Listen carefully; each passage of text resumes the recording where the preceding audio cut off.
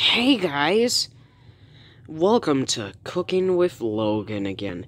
Today I'm going to show you how to make buttered bread.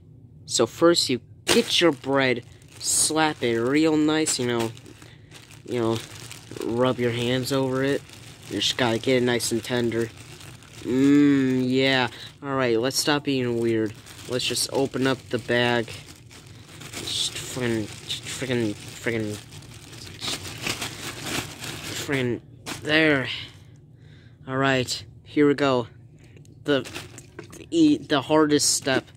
Make, so, so you gotta make sure that you don't, uh, uh, uh, uh, you gotta make sure to grab it rightly. It's, it's, it's spray on butter.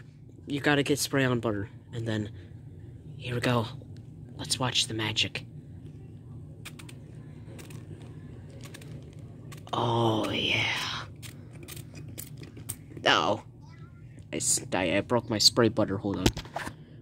Hmm. Damn it. Damn it. Come on.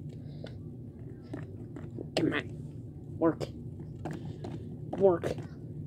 Ah. Work. Work.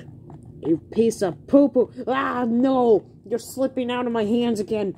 Stop. Ugh.